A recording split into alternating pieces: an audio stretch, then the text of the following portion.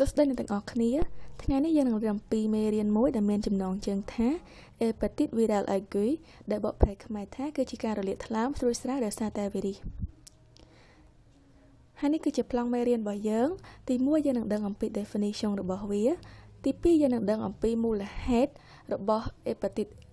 Ague ទី3យើងនឹងដឹងអំពី diagnostic រួមជាមួយនឹងតែតំងខ្លះខ្លះនៃប្រភេទផ្សេងផ្សេងរបស់ hepatitis ដែលក្នុងនោះរួមមាន hepatitis A B C D E និងចុងក្រោយយើងនឹងដឹងអំពីគង្វាអតើនីនៅក្នុងករណីដែលមាន hepatitis viral ague ដំបូងយើងចូលទៅមើល definition តើអ្វីទៅគឺជា hepatitis hepatitis design to processes inflammatory disorder ដែលមានន័យថា simplement មានន័យថាជាការរលាកថ្លើម ហើយការលាកថ្លើមហ្នឹងគឺថាបើសិនជាវាតូចជាងរយៈពេល6ខែគេហៅវាថាជា hepatitis ague ហើយបើវាធំជាងរយៈពេល6ខែគឺជា hepatitis chronic បន្តមកទៀតយើងមើលទៅលើថាតើមានមូលហេតុអ្វីខ្លះដែលនាំឲ្យមាន hepatitis ague hepatitis ague មូលហេតុសំខាន់ពីរនោះគឺមានវីរុសហើយជាមួយនឹង medicament ប៉ុន្តែដោយសារតែវីដេអូយើងផ្ដោតទៅលើតែវីរុសអញ្ចឹងយើងនឹងមើលតែមូលហេតុដែលបង្កឲ្យមានអេប៉ាទីតហ្នឹងគឺតែវីរុសទេដែលក្នុងនោះដូចយើងនិយាយពីដើមអញ្ចឹងគឺមានអេប៉ាទីត A B C D និង E បន្តមកទៀតយើងមើលទៅលើ diagnostic វិញម្ដងការធ្វើ diagnostic អេប៉ាទីតគឺ repose siectro element គឺមានទី1គឺយើងមាន notion de contact គឺមានន័យថាតកតងជាមួយនឹងការប៉ះពាល់ ឧទាហរណ៍បើសិនជាអេប៉ាទីត A គឺការឆ្លងហ្នឹងគឺឆ្លងតាមរយៈចំណីអាហារមិនស្អាតអញ្ចឹង notion de contact របស់វាយើងសួរអ្នកជំងឺទៅគាត់ថាគាត់ប្រើប្រាស់ទឹកអត់ស្អាតដល់ផ្ទះគាត់អត់មានប្រព័ន្ធទឹកអីចឹងគ្រប់គ្រាន់អីចឹងយើងអាចអាហ្នឹងគឺជា notion de contact ទី2គឺ dosa de transamina នៅពេលដែលយើងមើលឈាមទៅយើងឃើញថាត្រង់សាត្រង់សារបស់គាត់គឺធំជាង10ដង normal សម្រាប់ hepatitis ague និងធំនិងតូចជាង5ដង normal សម្រាប់ hepatitis viral chronic និងចុងក្រោយគឺយើងមើល serology យើងមើល antigen និង anticorps តាមនឹងអ្នកទាំងអស់គ្នាឆ្ងល់ទេតើហេតុអីបាន hepatitis viral អត់មាន report clinic សោះអញ្ចឹង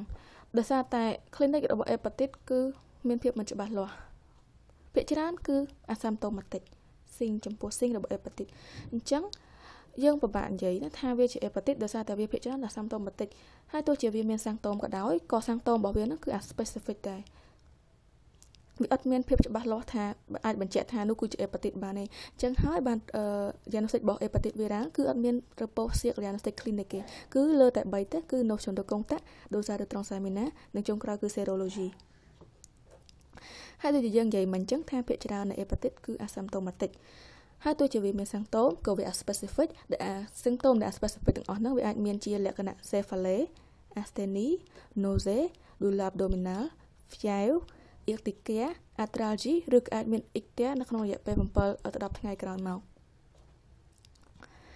បន្តមកទៀតយើងចូលទៅមើលអេប៉ាទីតនីមួយៗថាមានក្រាក់ទាផ្សេងផ្សេងគ្នារបៀបម៉េចខ្លះទី1គឺអេប៉ាទីត A បើសិនជាយើងមើលក្រាក់ទា virologic អេប៉ាទីត A ស្ថិតនៅក្នុង family មួយឈ្មោះថា Piconaviridae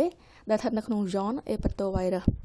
ទំហំវា27ទៅ32ណាណូម៉ែត្រហើយវាជាវីរុសនងអង់វឡូពេនិងជាវីរុស AIN ហើយវីរុសអេប៉ាទីត A ហ្នឹងគឺគេថាភាពផ្កាយសាហាវរបស់វាវារមី5 April វានៅក្នុងឈាមវាខ្សោយហើយវាមានរយៈពេលខ្លីទៀតការរស់នៅក្នុងឈាមរបស់វាហើយវាអេប៉ាទីត A គឺអត់មាន form chronic ឬក៏ form fulminant ទេ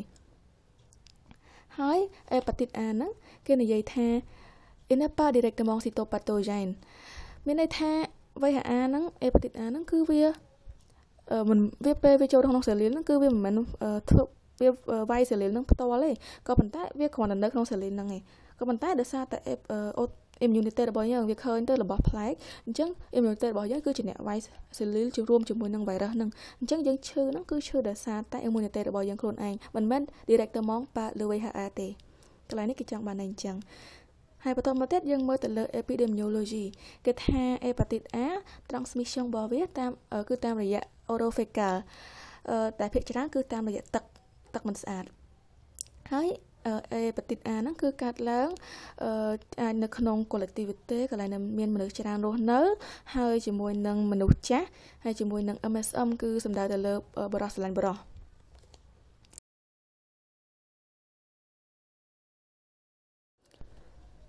តើតើជាមួយនឹង diagnostic យើងឃើញថាអង្គុយបាសចុងរបស់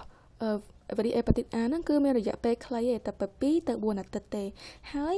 លើភ្លឺស៊ូវងគឺវា asymptomatic អត់មានរោគសញ្ញាទេហើយទោះជាមានរោគសញ្ញាក៏វាស្រាលដែរ benign ហើយចំពោះ serology របស់វាវិញយើងឃើញថាមាន presence ជា anticorps anti VHA 的 type IgM នៅពេលនៅចង់និយាយថានៅពេលដែលគាត់គេរៀនរងហើយយើងឃើញថាមានអង់ទីកូអង់ទី VR ទី EGM ដែលវាអាចពាក់ស៊ីនៅក្នុងឈាមរបស់ជំងឺ Plusieumois ឬក៏មានអង់ទីកូអង់ទី VHA ទី IgG ដែលនៅក្នុងឈាមរបស់អ្នកជំងឺរហូតដល់រាប់សិបឆ្នាំដែលអាហ្នឹងហើយគឺជា immunity អាឡុងតាមរបស់យើងកងត្រឹសលើ virus hepatitis A ហើយចំពោះ hepatitis A នេះ virus hepatitis A ហ្នឹងគឺយើងមានវ៉ាក់សាំងហើយបន្តមកទៀតយើងមើលទៅលើ hepatitis B រូបរាងរបស់ virus ហ្នឹងគឺទី1គឺ family របស់វាស្ថិតនៅក្នុង Apatnaviridae និងស្ថិតនៅក្នុង John Octoapatnavirus ហើយជា virus envelope ហើយជា virus ADN ហើយអង្គុបាស្យងរបស់វាគឺរៀងវាវែងជាង virus hepatitis A វាអាចមានរយៈពេលរហូតដល់ពី6សប្តាហ៍រហូតដល់4ខែហើយគេនិយាយថានៅពេលដែលយើងអតាំង hepatitis B ហ្នឹងគឺវានឹងវិវត្តនៅក្នុង5ដំណាក់កាលទី1គឺ ហ្វាអង្គុយបាស្យុងដែលដូចយើងនិយាយមិញអញ្ចឹងគឺរយៈពេលពី6សប្តាហ៍រហូតដល់4ខែដែលនៅក្នុងដំណាក់កាលអង្គុយបាស្យុងហ្នឹងយើងឃើញមាន presence antigen HBS បន្ទាប់មកទៀតចូលទៅហ្វាមួយទៀតគឺហ្វា pre-icteric គឺជាហ្វាមួយដែលមិនមានសាំងតូមច្បាស់លាស់ហើយហើយសាំងតូមហ្នឹងគឺវាមាន micro លើគ្រីប ដែលអាចមានជា atralgie fatigue fièvre douleur abdominale ជាដើមហើយនៅពេលហ្នឹងនៅក្នុង serology របស់គាត់យើងឃើញ presence anticorps anti HBC ទៅ type IgM ហើយទី3គឺ pha icteric ដែលអ្នកមានអ៊ីកតាហ្នឹងគឺមានតែ10%នៃការនៃអ្នកឈឺហ្នឹងទេដែលចេញជាអ៊ីកតាអ៊ីកតាហ្នឹងគឺអាចមានរយៈពីរយៈពេលពី2ទៅ3សប្តាហ៍ហើយយើងឃើញមានជាអ៊ីកតាគឺតានីអូមួយកើហើយអ៊ុយរីនហ្វុងសេសាដេកូឡេរ៉េដែលអឺ ហេតុអីមិនមានអ៊ីកតាគឺដោយសារតែដូចយើងដឹងហើយអេប៉ាទីតរលាកថ្លើមអញ្ចឹងរលាកថ្លើមគឺហើមអីអញ្ចឹងហើមវានឹងសកត់ទៅលើអាវ៉ាប៊ីលីយ៉ានៅក្នុងអង់ត្រាអេប៉ាទីកហ្នឹងអញ្ចឹងវានឹងធ្វើឲ្យមានការស្ទះហ្នឹងគឺធ្វើឲ្យមានឈាលចូលទៅក្នុង circulation sanguine ធ្វើឲ្យមានការកើនឡើងនៅពួក bilirubin ទាំង direct និង indirect conjugate និង non conjugate អញ្ចឹងហើយធ្វើឲ្យជាមូលហេតុមួយដែលធ្វើឲ្យយើងចេញជាលឿង ហើយក្រៅពីលឿងនឹងហើយក្នុង fight direct ហ្នឹងអ្នកជំងឺហ្នឹងក៏គាត់មានរោគសញ្ញាបាត់បង់ការឃ្លានអាហារពាក់អាប៉ាទីហើយអេប៉ាតូមានអេប៉ាតាជីនិងមានអេប៉ាតូមេកាលីស្លេណូមេកាលីនិងអាចមានអាដេណូប៉ាក់ទីផងដែរហើយចំពោះស៊ីមីយ៉ូឡូជីកវិញគឺយើងឃើញថាបដូសាក្នុងដំណាក់កាលហ្នឹងឃើញត្រង់សាមណាគាត់ឡើងខ្ពស់រហូតធំជាង10ហើយប៊ីលីរបៀនរបស់គាត់ក៏កើនឡើងដែរទី4គឺ Father Day Croissant គឺមានន័យថាអា ការឈឺនឹងចាប់ដើមថយហើយអន់ថយហើយអញ្ចឹងគឺពេលហ្នឹងចាប់ដើមមានបាត់អាពាក់អាប៉ាទីឬក៏ factic នឹងចាប់ដើមការមានការថយចុះហើយនឹងចុងក្រោយគឺ fa de guérison គេថាមានការមានរហូតដល់90ទៅ95%នៃអ្នកជំងឺហ្នឹងគឺគាត់ជា spontaneous without uh, treatment ហើយនៅពេលហ្នឹងគេនិយាយថាក្នុងដំណាក់កាលហ្នឹងគឺមានមានការ eliminate cellular infected នឹងចេញហើយចំពោះ symbiotic វិញយើងឃើញថាមានការបាត់ antigen HBS និងដែលយើងឃើញនៅក្នុង phagocytation ហើយនិង anticorps anti HBC ដែល type IgM ដែលយើងឃើញនៅក្នុងអឺ pha pre-icteric អញ្ចឹងវាបាត់អស់នឹងអស់ហើយប៉ុន្តែផ្ទុយមកវិញគឺជាវាមាន apparition នៃ anticorps anti HBS និងអង់ទីកអង់ទីហាក់បេសេដទីប IgG វិញដែលជាលក្ខណៈបង្ហាញថាគាត់នឹង guérison ហើយបន្តមកទៀតយើងមើលទៅលើ epidemiology ចំពោះ hepatitis B គឺវាមាន mode កាត់ម៉ូត de contamination ដែលក្នុងនោះគឺមានទី1គឺ contamination perinatal មានន័យថាជុំវិញកំណើតអាចជា transmission vertical ពីម្ដាយទៅកូនឬក៏អាចជា transmission horizontal គឺឆ្លងពីកូនក្មេងម្នាក់ទៅកូនក្មេងម្នាក់ទៀតដែលវាត្រូវបាន raise ជាមួយគ្នាវាចង់និយាយថាចិញ្ចឹមឡើងឲ្យធំជាមួយគ្នា ហើយទី2គឺតកតងជាមួយនឹង sex ជាការរួមភេទដោយមិនមានសុវត្ថិភាពដូចជាការមិនប្រាស្រ័យអនាម័យជាដើមទី3គឺអឺ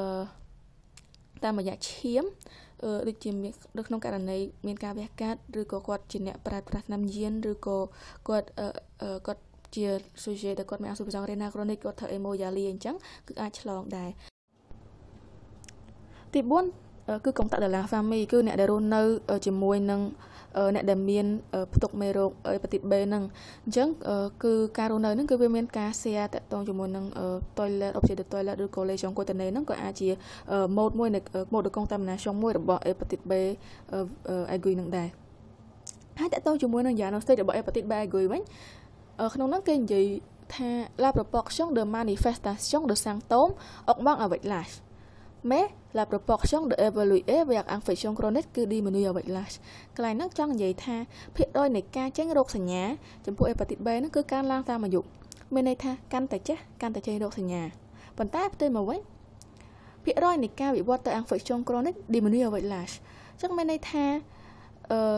អាយុកាន់តែក្មេងកាន់តែមានភាគរយនៅក្នុងការវិវត្តទៅជា infection chronic នឹងខ្ពស់កន្លែងហ្នឹងគឺវាផ្ទុយគ្នាអញ្ចឹង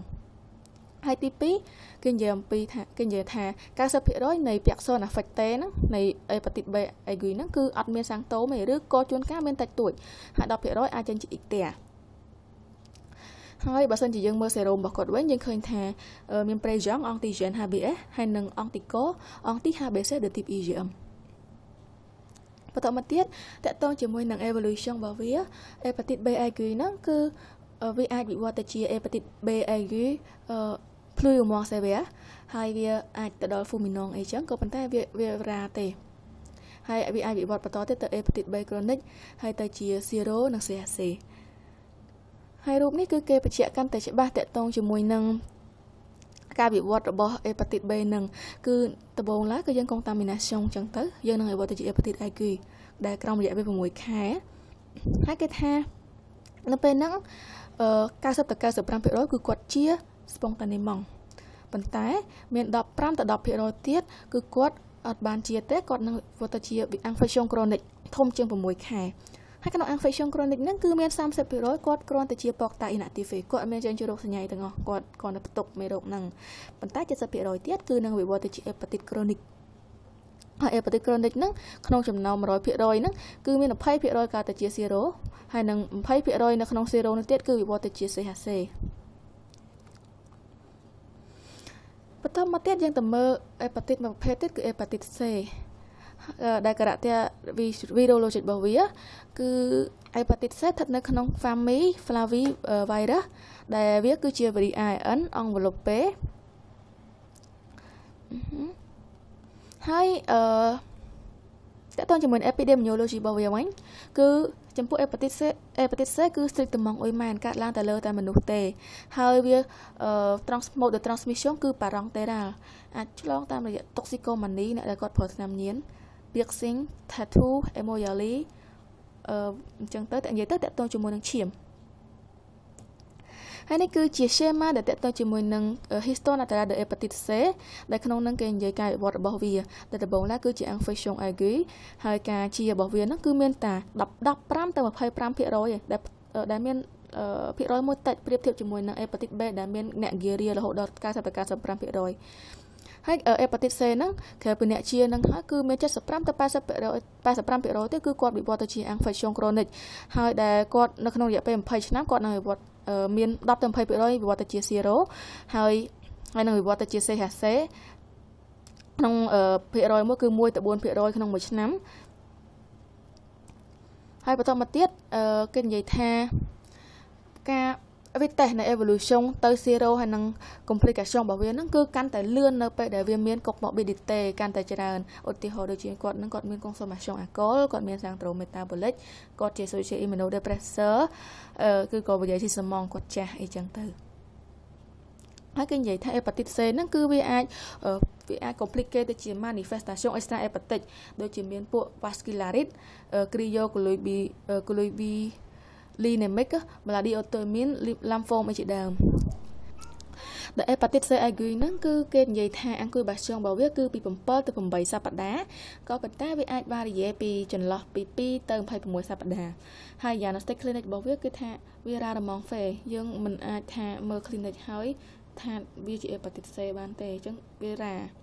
ហើយអេកទាគឺក្នុងករណី hepatitis C ហ្នឹងគឺមាន20%ហើយភាគច្រើនគឺអាសាមតូម៉ាទិករហូតដល់80% ហើយទោះជាមានសាំងតូនក៏សាំងតូនរបស់វាហ្នឹងគឺ unspecific គ្រាន់តែលក្ខណៈ fatigue nausea douleur abdominal icteria urine foncé ដែលមានរយៈពេលពី2ទៅ12សប្តាហ៍អញ្ចឹងហហើយ hepatitis អឺ aiguë severe C ហ្នឹងគឺ exceptional គឺអត់មាននេះហើយចំពោះ paraclinic គេនិយាយថា AN viral វាអាច detect តាម PCR ក្នុងរយៈពេលអឺ មួយសប្តាហ៍ក្រោយពី contamination ហ្នឹងហើយអង់ទីកអង់ទី HVC ហ្នឹងក៏អាច detect តាមដែល pas test ELISA de troisième génération ក្នុងសប្តាហ៍ទី12ហើយ transamina គឺយើងមើលទៅឃើញមាន10ដង10ដងធំជាង normal ហើយបើសិនជាក្នុងករណី Garrison ត្រង់សាមីណាហ្នឹងគឺវានឹងទៅជា normal វិញហើយ AN ដែលយើងធ្លាប់ខកឃើញហ្នឹងគឺវា undetectable អង្គទីកអង្គទី VHC ហ្នឹងអាច detect នៅតែ detect តាមក្នុងរយៈពេល nombre នេះវាអត់បាត់ទេហើយអង្គការ The Infection Chronic ត្រង់ត្រង់មេសាមីណាហ្នឹងគឺវា normal ឬក៏អាចឡើងតិចតួចហើយ AN ហ្នឹងនៅ detect តាម ហើយកន្លែងនេះដែលយើងនិយាយហើយតកតង evolution មិញដែលយើងនិយាយថា gradation ស្បង់តនេន15ទៅ25%ហើយ75ទៅ85%ទៀតនៅវិវត្តទៅជា hepatitis C chronic ហើយនឹង1ទៅ4%នៅវិវត្តទៅជា CHC មួយទៀតយើងមើលទៅលើ virus ដែល hepatitis B វិញម្ដងដែល hepatitis D ហ្នឹងគឺជា virus មួយដែលមិនមិនអាចកាត់ឡើងដោយខ្លួនឯងបានទេគឺវាត្រូវតែ depend ទៅលើ virus B សម្រាប់សារ multiplication វាគឺជា variant AN ហើយវាមាន antigen data ដែលគេនិយាយថា AN ហើយនិង protein data របស់វាហ្នឹងគឺឃើញមាននៅក្នុង envelope អឺដែលក្នុងហ្នឹងគឺមានផ្ទុក antigen HBS ហើយ vaccination ដែល contrast VHB ហ្នឹងក៏អាចទប់ទល់ជាមួយនឹង infection ដោយ hepatitis D នឹងបានដែរដោយសារតែ hepatitis D ហ្នឹងយើងដឹងហើយថាវាត្រូវការ hepatitis B អញ្ចឹងតែកាលណាមានវ៉ាក់សាំង contrast hepatitis B អញ្ចឹង VHD ហ្នឹងក៏ដូចជាអត់មានកើតឡើងដូចគ្នា មួយទៀតយើងមើលទៅលើ histone lateral ហើយនឹង genesis របស់វា histone របស់វាគឺដូចជាមួយនឹង VHB អញ្ចឹងហើយអឺ video data ហ្នឹងគឺវា responsive hepatitis aiguë de co-infection BAD អងមែមតង់គេហៅថាបើសិនជាវាកើតអា hepatitis B AD នឹងក្នុងរយៈពេលជាមួយគ្នាគេហៅថា hepatitis hepatitis នឹងទៅជានឹងនឹងទៅជា hepatitis aiguë ក្រៅប៉ុន្តែបើសិនជាយើងជាសៀងលក្ខណៈសៀង face ចុងគឺយើងមាន B ហើយបានមាន D ហ្នឹងសៀង face ចុងពីលើអាហ្នឹងបានវាទៅជាលក្ខណៈ chronicity វិញហើយយ៉ាងណាសិចរបស់វាគឺយើងអាចរកឃើញនៅក្នុងសេរ៉ូមរបស់គាត់នៅអង្គទីក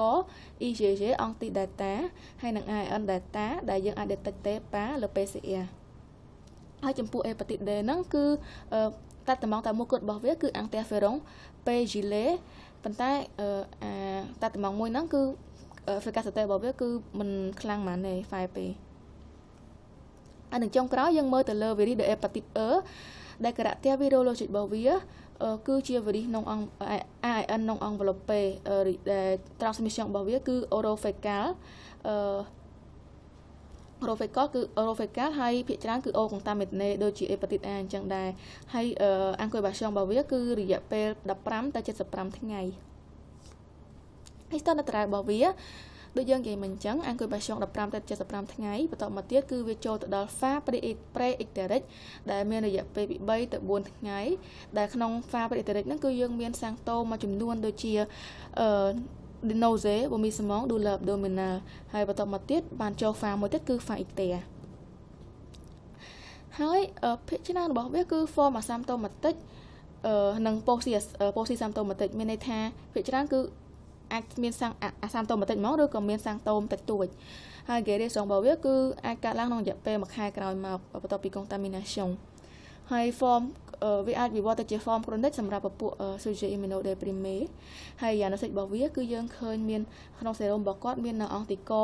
IgG IgM អង្គទី VHE ហើយនឹងមាន amplification par RT PCR អង្គតំ real ដែល IN virus ដងលើ serum ឧដងលើ cell ដែលអាហ្នឹងគឺជា méthode de référence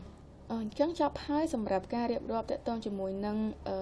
ក្រាក់តែ virologic របស់ hepatitis ផ្សេងផ្សេងក៏ដូចជា sing របស់វាមួយចំនួនការវិវត្ត transmission អីយើងនិយាយចប់ហើយឥឡូវយើងចូលទៅមើលកុងតវីតើនីដវង hepatitis viral aiguë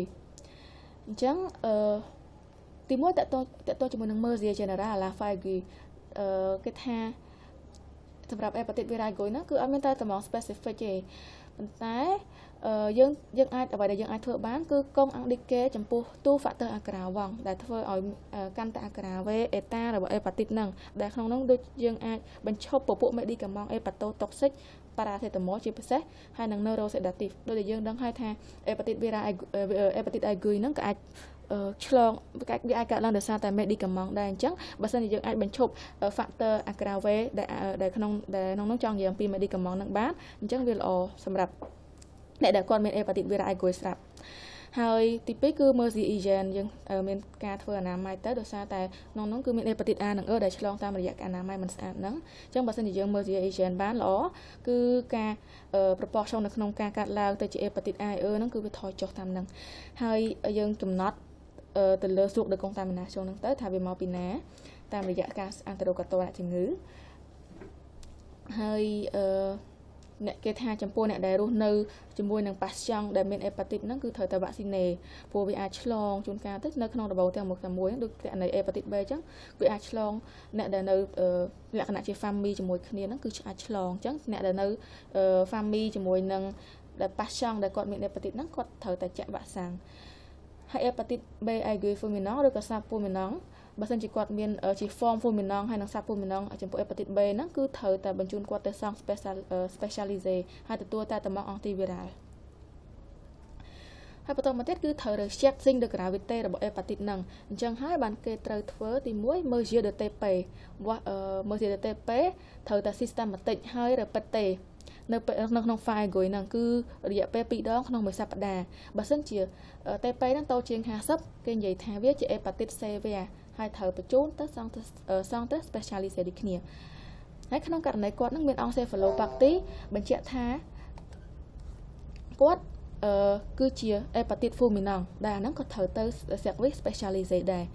អញ្ចឹងមិនយើងនិយាយអំពី form hepatitis fulminant subfulminant តើអ្វីទៅគឺជា hepatitis fulminant និង subfulminant អញ្ចឹង hepatitis fulminant គឺមានន័យថាអាំងសាឡាស្យងរ៉ាពីតគឺកើតលឿននៅក្នុងរយៈពេលក្រោម2សប្តាហ៍ហើយវាចេញហ្មងចេញជាលក្ខណៈ អីចេញជាអង្គសេហ្វាឡូប៉ាទីអេប៉ាទិកតែក្នុងហ្នឹងគឺវារួមមានជាមួយនឹងអឺសិងអង់សេហ្វាឡូប៉ាទីចឹងហើយយើងដឹងហើយមានអង្គវាខ្យងនីតេមេរ៉ាល់មានអាស្តេរីស៊ីកុងហ្វីស្យងអីចឹងទៅហើយរួមជាមួយនឹងតេប៉េតូជាង50%ឬក៏ ENR ធំជាង1.5ហើយប្រែបន្ទាប់ពីការកាត់ឡើងនៃអ៊ីកតេហើយចំណែកឯអេប៉ាទីតសាពូមីណងវិញគឺសាំងតូរបស់វាគឺវារៀងរតាជាងហ្វូមីណងតិចគឺ2ទៅ3ខែបន្ទាប់ពីការកាត់ឡើងនៃអ៊ីកតេ អញ្ចឹងចាប់ហើយសម្រាប់អេប៉ាទីតអេគួយរបស់យើងអញ្ចឹងអ្នកទាំងអស់គ្នាអាចតាមដានជាមួយនឹងអេប៉ាទីតក្រូនិកទៀតនៅសប្តាហ៍ក្រោយ។